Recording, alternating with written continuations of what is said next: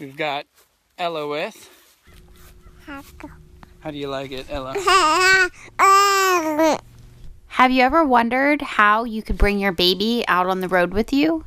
Well, here's an idea. You can set up a mini crib in the space of either where some of your couches were or in your toy hauler.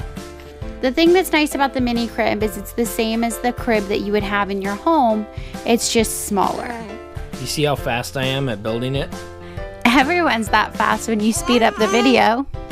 This mini crib was placed in the toy hauler. It's perfect because at the end of the day, when baby's ready to go to bed, you can close the door and they can have their own separate, quiet, dark space.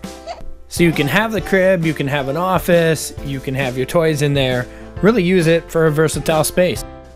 What do you think, Danielle? Looks great. Final touches. At peace, nap time.